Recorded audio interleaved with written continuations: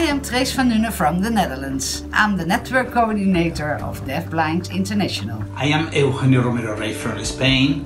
I am the editor of the Spanish DBI Review and collaborator for social networks and DBI website. I am Graciela Ferioli. I am DBI social media pioneer. I'm Roxana Spruyt Rocks, Chief Executive Officer of Deafblind Ontario Services in Ontario, Canada. I'm Dmitry Polikanov from Russia. I'm the Information Officer of Deafblind International.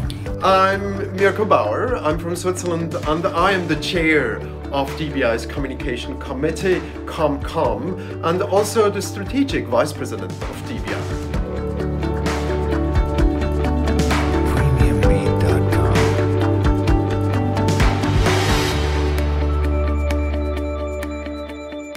Need you.